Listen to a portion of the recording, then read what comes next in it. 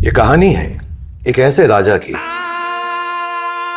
जिसे रियासत की रोशनी नहीं, तन्हाइयों की विरासत मिली।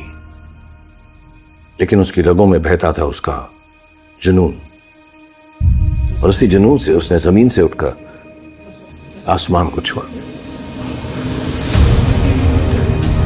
ज़मीन पर तो कई बादशाह हुकूमत करते आए हैं और उसने राज किया सभी के दिलों पर हालात की आंधियों से उठा।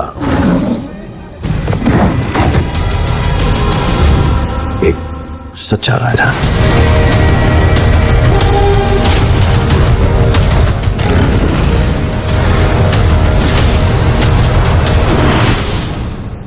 काफ़ी मिलती जुलती है ना ये कहानी?